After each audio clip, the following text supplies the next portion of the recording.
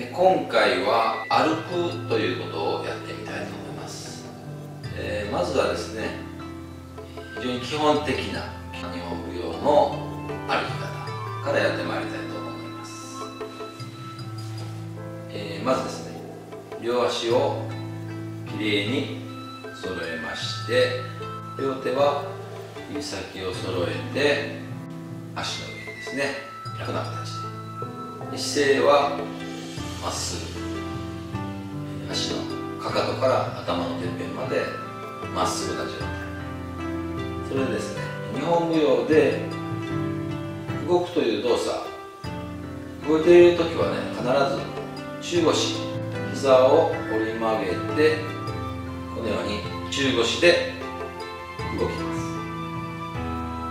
この膝のどれだけ折ったらいいか結難しいんですけどもこれは今回省いておきまして表現する人物によってその膝の体の沈み具合これが全部異なってきますので今回は基本的なあり方ですのでその高さは省いておきます。少しですねこの体が安定するところですね。かかとがピタッとこの床について安定する。その状態でまず足一幅。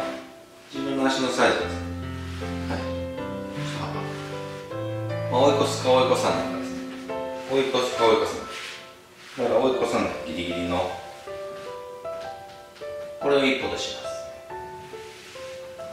す。で、え姿勢を正しましてはい参ります。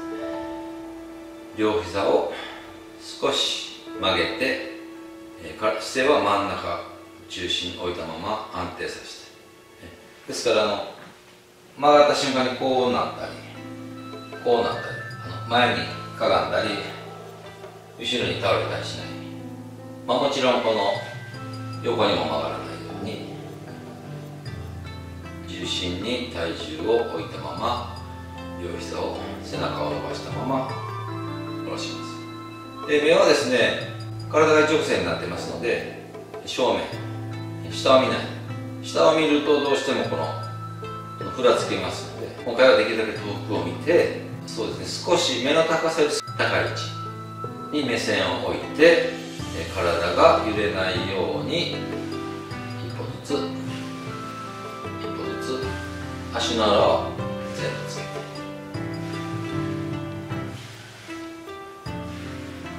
あのかなり太ももに力が入っております。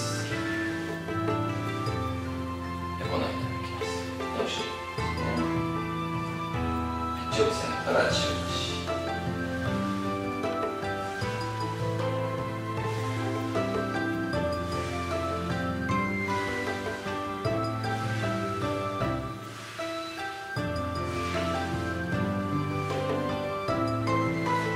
これが基本です。実際このような歩き方をする舞踊はあまりありませんね。まあめったにですね。こういうこういう歩き方なくはないですがあまりありません、まあ、ただしこの重心をこの真ん中に保っておくという練習で中腰で、えー、体を安定させてですね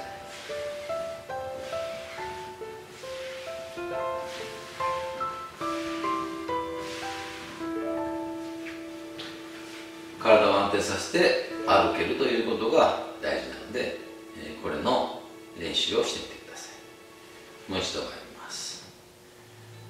姿勢を良くして中腰。はい重心をずっと真ん中に置きながら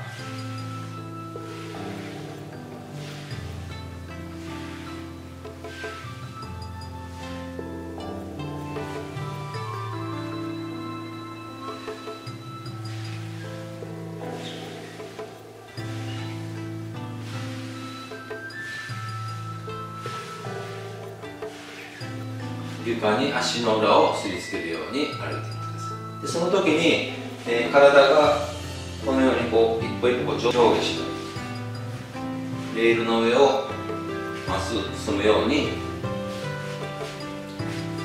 上下しないように同じ姿勢で歩いていきます。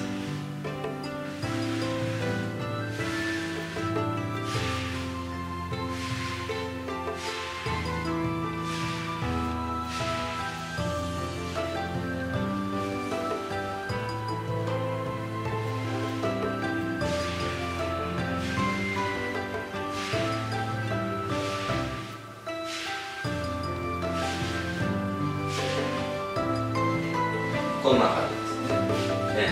これを、何度も繰り返して真ん中のね重心を覚えていって。